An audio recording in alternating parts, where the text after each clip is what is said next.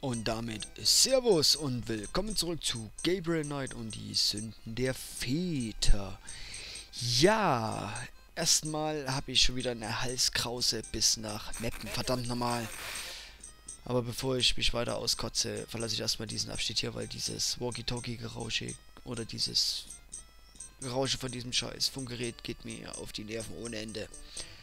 So, ja, weswegen habe ich eine Halskrause? Ja, ich mache diese Aufnahme jetzt mittlerweile zum dritten Mal. Ob ihr es glaubt oder nicht, das ist wirklich so. Das erste Mal ist mir der Rechner abgestürzt. Ahoi, ahoi, Blue Screen. Ich brauche irgendwann unbedingt einen neuen Rechner. Es geht bald gar nicht mehr. Es nimmt immer mehr zu. Hello, beautiful. Ja, It's me. bla bla, bla bla. Okay, so, jetzt kann ich mich weiter auskotzen. Und beim zweiten Mal habe ich eine ganze Stunde aufgenommen und hatte hinterher gemerkt, dass das Mikrofon aus war.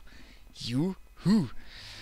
Oh mein Gott, das ist heute echt ein verdammt mieser Tag für mich. Ich merke das wohl. Da bekommt man, oder verliert man jegliche Lust am weiter aufnehmen. Aber egal, ich will das jetzt nicht auf euch abwälzen, sondern äh, ich würde sagen, spielen wir das Ganze doch jetzt einfach nochmal zum dritten Mal durch, oder? Völlig unproblematisch, völlig unproblematisch. Ich hoffe nur, dass es jetzt klappt, ey. Okay, warum ich jetzt eigentlich hier bin, hat eigentlich einen ganz einfachen Grund. Und zwar habe ich mir gestern oder so nochmal den letzten und den vorletzten Part angeschaut. Und da ist mir doch aufgefallen, Mosley hatte ja bei uns angerufen und ähm, hatte irgendwie den Nachnamen seiner Mutter oder Großmutter durchgegeben, der ja Humphrey gewesen ist. So habe ich es noch im Gedächtnis. Beziehungsweise so habe ich es ja dann auch gesehen. ja, und dann kam mir doch einfach mal die Idee, hm, äh, schaut doch einfach mal auf eure Handy-Tastaturen. Genau, da seht ihr ja, dass jede Zahl äh, ein Buchstabenblock zugeordnet ist. Also habe ich mich einfach mal hingesetzt und äh, habe doch einfach mal die ganzen Buchstaben in Zahlen umgewandelt. Und herausgenommen ist, äh, her herausgenommen, genau, herausgekommen ist eine achtstellige Ziffer. Und äh, ich würde sagen, wir rufen da jetzt einfach mal an und schauen doch einfach mal, wer jetzt dran ist. Ich muss dazu sagen, ich habe das schon, wie gesagt, zweimal gemacht.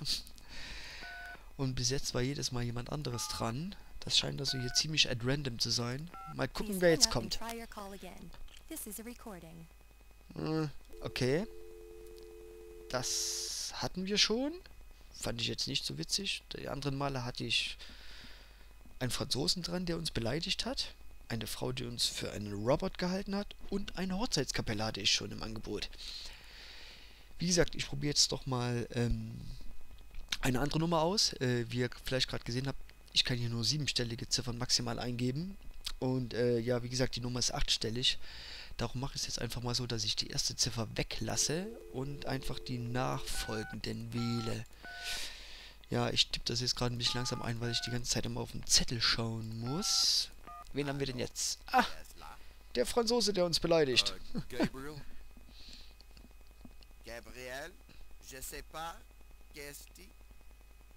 A wrong number. Uh, trompé. En erreur. Whatever. Quel idiot. Ja, genau. Äh, das wollte ich euch jetzt nur nochmal äh, gezeigt haben.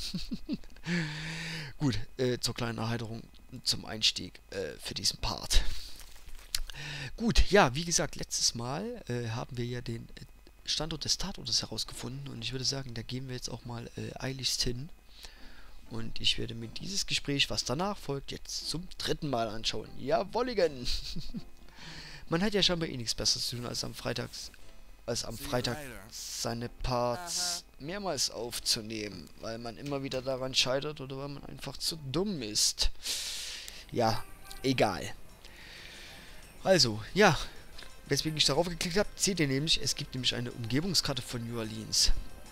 Habe ich nämlich vorhin auch erst rausgefunden. Ja, hier haben wir einmal den Tatort und da haben wir einmal das Haus von Gabriels Großmutter. Warum die da jetzt mit eingezeichnet ist, weiß ich nicht. Ist mir momentan auch völlig egal. Hat erstmal im Moment nichts damit zu tun, was wir eigentlich wollen. Darum würde ich sagen, gehen wir doch einfach schnurstracks oder fahren wir einfach schnurstracks zum Tatort und äh, schauen doch einfach mal, was da so vor sich geht.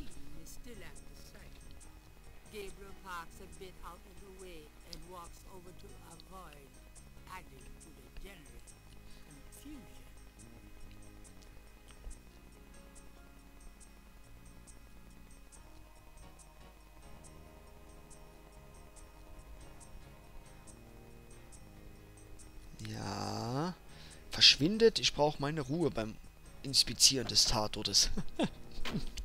ja, das ist übrigens unser Freund Mosley, der Mann mit dem gelben Jackett. Welches er in jedem Spiel trägt. Dieses hässliche gelbe Jackett. Dieses unglaublich hässliche gelbe Jackett.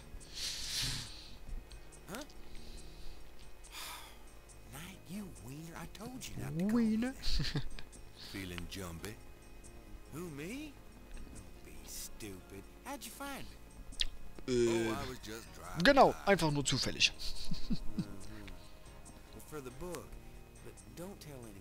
This,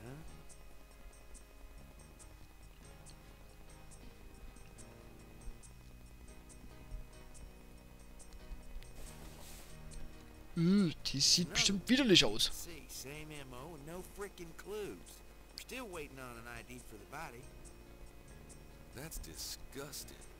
Isn't this a rather, uh, public area for this kind of thing?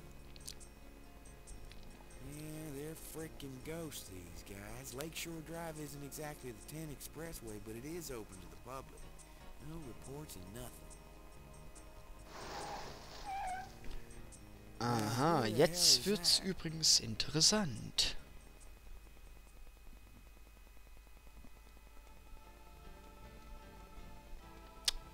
Wieder die schwarze Schwärze, von der ich schon dreimal geredet habe.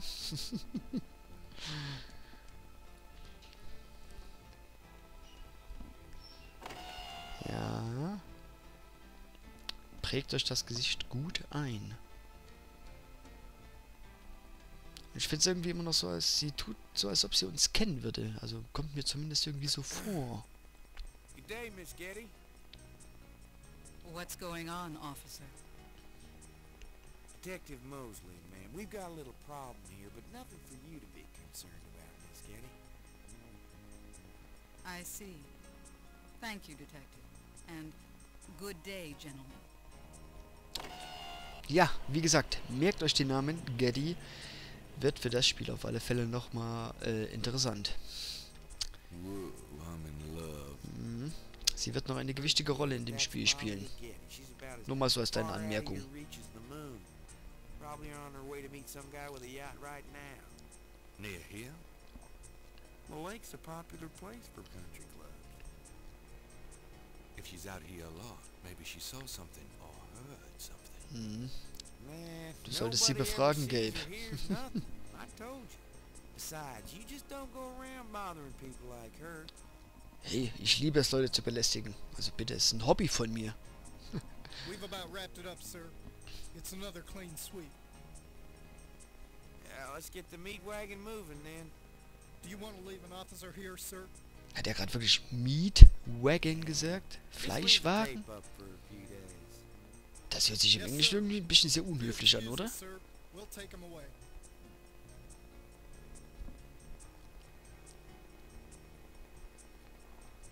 Sehr schön, dann verschwindet jetzt endlich und ich habe Zeit, den Tatort zu inspizieren. Dafür gibt es zwei Daumen. take Watch out for the muck in the water moccasins, though. I'll be back at the station. Stop by if you want to go with Kate some more. Ja, ja, dankeschön, dankeschön. Thanks. Ah, wollte ich gerade sagen. Du kannst es ruhig sagen, Gabriel. Gut, ksch, ksch, weg hier. Ich will jetzt endlich in Ruhe den Tatort inspizieren. Verdammt nochmal. Und schaut euch den Wendekreis von diesem Polizeiwagen an. Grandios. Ja, jetzt sind wir endlich allein hier und können uns in Ruhe umsehen. Ja, wie gesagt, ich habe das ja nun alles jetzt schon mehrmals durchgemacht. Darum etwas im Schnelldurchlauf. Wie gesagt, das Vergrößerungsglas. Ich schaue jetzt trotzdem alle Hotspots hier nochmal an. Für die Community. Obwohl im Endeffekt eigentlich nur eine Stelle hier in diesem äh, Screen wichtig für uns ist. Aber egal, ich mach's doch gerne nur für euch.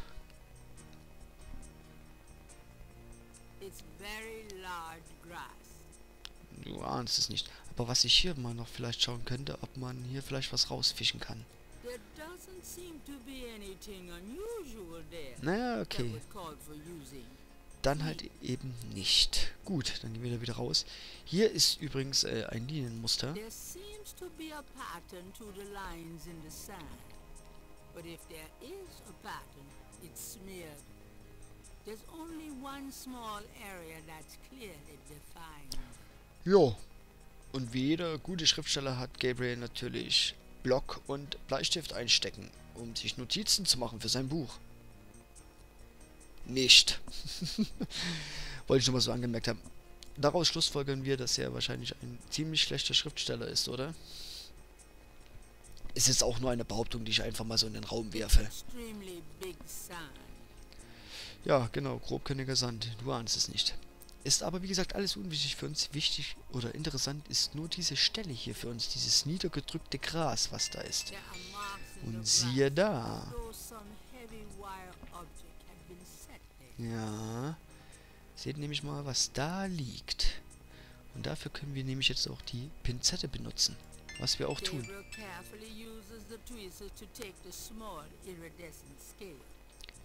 Ja.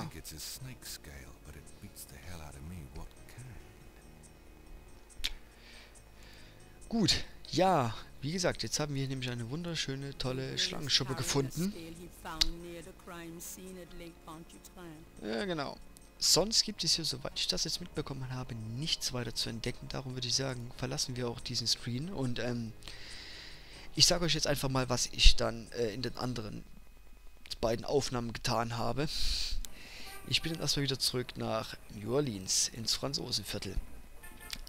Hatte dann einen kleinen Abstecher ins Museum gemacht, weil ich dachte, die Frau könnte uns vielleicht weiterhelfen. Aber nein, das kann sie natürlich nicht. Warum ich ins Museum bin, ganz einfach. Ihr erinnert euch vielleicht noch an die Schlange, die da in diesem Plexiglas-Käfig drin saß. Aber wie gesagt, sie wollte uns nicht helfen. Der Typ hier, obwohl da können wir jetzt hingehen. Wie gesagt, ins Museum gehe ich jetzt nicht, das bringt jetzt überhaupt nichts.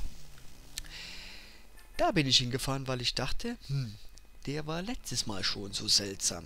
Der weiß doch bestimmt irgendwas. Und wenn wir ihm diese Schlangenschuppe in die Nase halten, vielleicht wird er ja weich und rückt mit ein paar Informationen heraus. Hat leider auch nicht viel gebracht, aber wie gesagt, ich kann euch das jetzt gerne nochmal zeigen. Das probieren wir jetzt einfach nochmal aus.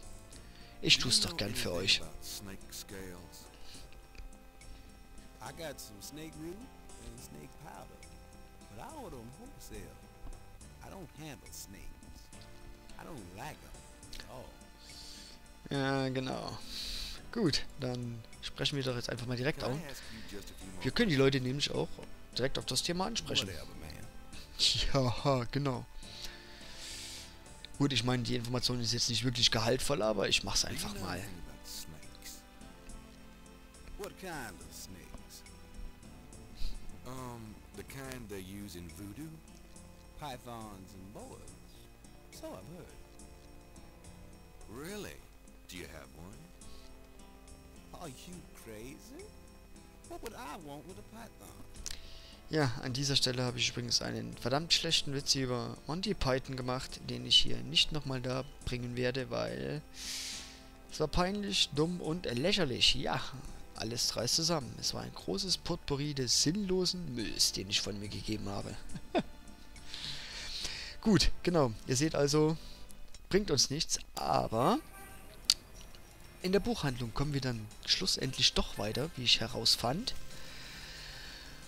Und zwar kann uns doch die gute Grace endlich mal ein bisschen behilflich sein. Jaha. Was aber auch Zeit wird. Hello, beautiful. It's me. Okay, als erstes ja halten wir doch ein- halten wir ihr nicht ihm doch einfach mal diese tolle Schlangenschuppe unter die Nase. Vielleicht kann sie uns ja so schon etwas sagen. Do you know anything about this? No, sorry. Ja, blöb, das war ein Fail. Aber wir können sie ja direkt auf das Thema ansprechen. Also tun wir das doch einmal. Haben wir es nämlich schon.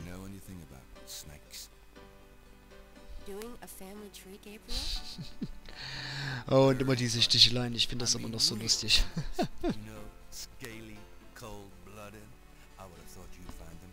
Ja, Stich, Stich, Stich. Mm-hmm. I know very little about reptiles of any kind and prefer to keep it that way. I think there's a book on snakes around here somewhere, though. Das ist Okay, doch mal eine Information, thanks. mit der können wir etwas anfangen. Äh, und genau. Ob ihr es glaubt oder nicht, ob es, es hat tatsächlich drei Parts gedauert, aber wir können endlich Nachforschungen anstellen lassen. Genau, und zwar über diese Malia Getty. Applaus, Applaus. Hmm. The name Getty sounds familiar. Ja, genau. Ja, You richtig. should get an address. Mm-hmm. They're murders. Right. I'll see what I can find out. Anything else? Äh, nein. Ich glaube, das reicht auch erstmal, oder? Okay. Ja, dann war's das erstmal von der Seite. Und dann schauen wir uns doch einfach mal hier. Äh, oder auch nicht. Kam das jetzt schon? Okay. Damit würde ich sagen, haben wir den ersten Tag tatsächlich geschafft. Gratulation, wir haben es geschafft. Und ich sehe gerade, wir haben irgendwie zwei Punkte weniger, als ich noch im letzten, bei der letzten Aufnahme hatte. Verdammt! Ach nein, das finde ich jetzt aber echt mies. Naja gut, okay, dann äh, nützt ja nichts. Damit ist schon wieder garantiert, dass ich wahrscheinlich wieder nicht alle Punkte im Spiel bekomme. Aber egal, habe ich sowieso in keinem Gabriel-Teil, habe ich das noch nie geschafft, alle Punkte zu bekommen. Aber naja, es geht auch eher, glaube ich, mehr um den Spielspaß als um das Sammeln von Highscores. Ja, und jetzt bin ich kurz still, denn es kommt eine Zwischensequenz, genau.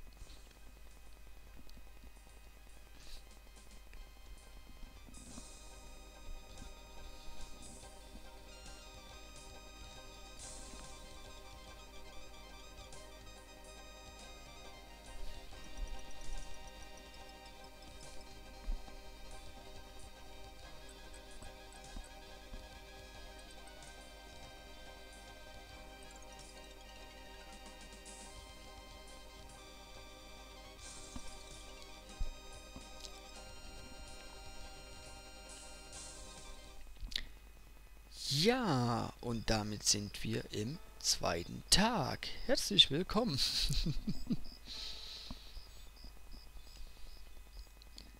Maskiert erreichte ich den Ort, war nicht mehr der ich bin.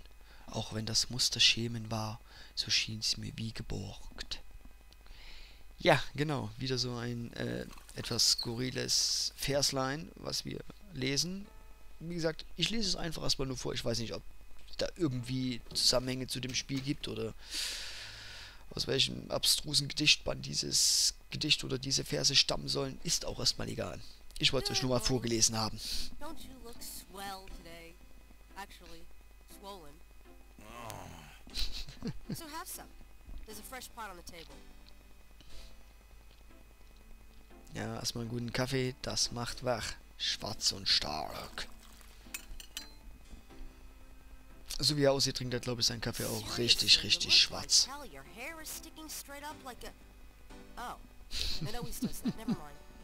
Oh.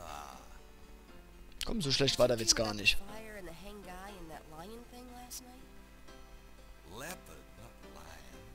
Did you get anything on Malia Getty? Well, I did get her address, but you're a little out of your league here, big fella. The Gettys own three local hospitals, just to name a few of their assets. They run in very high circles. Egal. Did you get an address? I got the address. I suppose this has nothing to do with the fact that Malia Getty is incredibly gorgeous. I should have known you wouldn't go Nein, for da a rich, gibt es keine direkten. Zusammenhänge. Nein. And that address is... Hey, far be it from me to postpone your total humiliation. It's 557 West England. That's the Garden District, the state city. That's all I wanted to know. And yes, my dear, Malia Getty is the most dangerous looking diversion I've ever seen. Ouch! Yeah. Oy, men. Nein, das ist nur er, der so schlimm ist. Zwinker. hey, immerhin 31 Punkte. Gott, wie kann man nur so geil auf diese gottverdammten Punkte sein, ey. Ja, was ich noch angemerkt haben wollte. Ähm, jeder, der mein Ankündigungsvideo gesehen hat, dem dürften wohl einige Szenen aus Gabes Traum wohl bekannt vorgekommen sein. Ja! Gut, was hatte denn ähm, Grace letztes Mal gesagt? Sie sagte, wir würden ein Buch über Reptilien besitzen. Gut, dann schauen wir uns doch hier jetzt einfach mal ein bisschen um. Okay, ja, das hatten wir alles schon. Das hatten wir schon. Das hat... Mein Gott, wie viele Bücher hat der denn zu diesem Thema? Mhm. Oh, ja, genau. Da fällt mir gerade was ein. Das will ich euch unbedingt zeigen. Grandios. In diesem Regal gibt es nämlich einen äh, deutschen Gedichtband. Und Gabriel liest ihn sogar komplett auf Deutsch vor, was ich richtig gut finde. Richtig gut. Das hat mir schon damals richtig gut gefallen, wo ich das Spiel das erste Mal gespielt habe. Drei Drachen. Drei Drachen kriechen in meinen Schlaf. Die Ziele wollen sie lebendig zum Fraß. Feurigen Atems, gespaltener Zunge, genießen sie jedes Mal.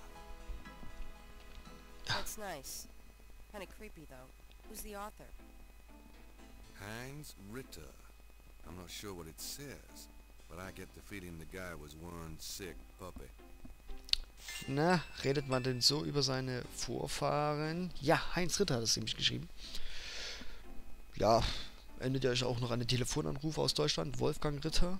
Da gibt es auf alle Fälle Zusammenhänge. Wird auf alle Fälle noch richtig spannend, denn er erklärt so den Hintergrund von Gabriel Knight ein bisschen auf. Ja, das wollte ich euch auf alle Fälle unbedingt zeigen, weil ich das so toll fand, wie er dieses Gedicht vorliest. Ja, ist jetzt nicht das beste Deutsch, aber egal. Ich finde es halt super, dass er auch in der englischsprachigen Version das Gedicht auf Deutsch liest. Also top, sage ich nur, top. Was das Spiel auch doch irgendwie noch einen Ticken atmosphärischer macht, das muss ich einfach sagen. Aber egal, wir kommen hier gerade irgendwie von dem ab, was wir eigentlich tun wollten. Wir suchen immer noch dieses Reptilienbuch.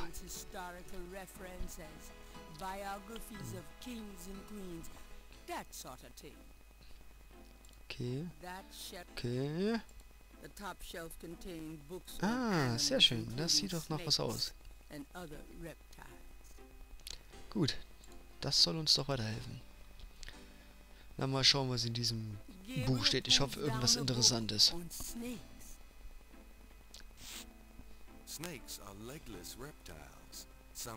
Ach, du meinst prey nicht.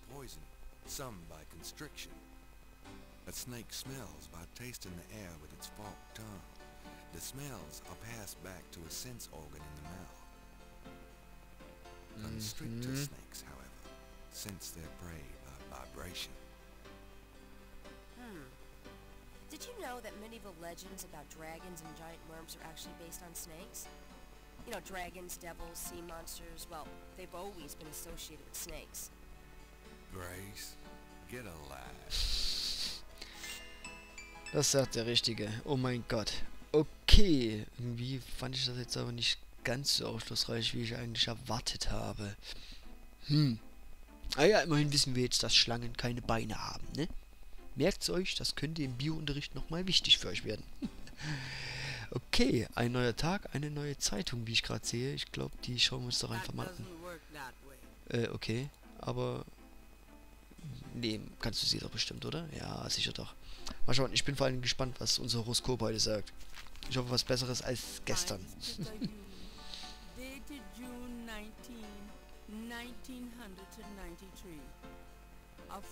Heinz Peter Hughes, dated June 19, 1993. A front page article describes the most recent of the voodoo murders.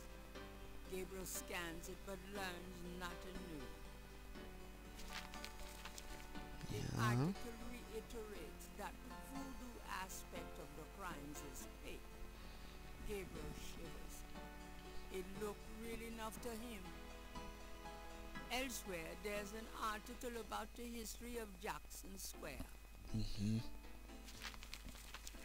Called La Plaza da Mar. under French rule. It Oh, was used okay. for executions, firing squads, hanging, even impalement and breaking on the wheel. Yikes. Schon ein bisschen makaber, dass die Leute heute da einfach spazieren gehen.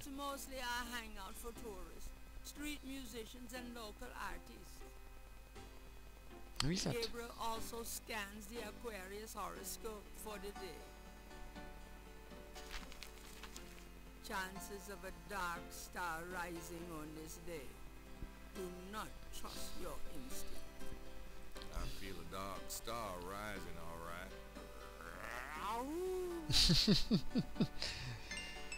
kommt der Witz wohl, glaube ich, irgendwie genauso schlecht als die Witze, die ich heute auch schon gemacht habe. ja, genau. Ein dunkler Stern. Könnte das vielleicht etwas mit Maria Getty zu tun haben? Wer weiß. Ja, gut. Wo machen wir denn jetzt am besten weiter? Ich würde sagen, wir gehen doch jetzt einfach mal schön ins Polizeirevier. Äh, und befragen einfach Muslim ein bisschen, ob er uns noch irgendwas zu dem Fall sagen kann. Und zu den Voodoo-Morden. Ich glaube, das ist eine gute Idee. Ich habe nur irgendwie das Gefühl, es wird, glaube ich, schwieriger da reinzukommen, als wir uns das, als wir das ahnen. Ich, erinnere mich noch an diesen, diesen grauhaarigen, dicken Polizisten, der uns da nicht durch die Tür gehen lassen wollte. Ich habe das Gefühl, da müssen wir uns wieder was einfallen lassen. Lasst uns kreativ sein. Okay, das ist schon mal ein Elektriker. Der weggeht, okay. The electrician has left his tools behind. You must plan on returning. Hm, gut.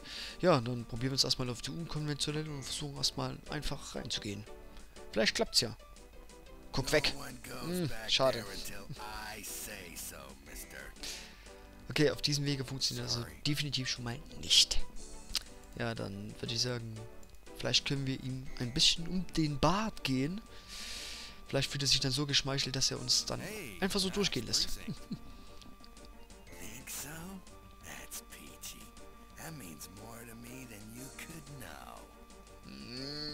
Wieso finde ich es jedes Mal so verdammt sarkastisch, wenn er diesen Satz sagt? Ich weiß es nicht. Geht das nur mir so oder seht ihr das auch so? Ja, bitte lassen Sie mich durch diese tolle Schwingtüre in Mosleys Büro. Genau.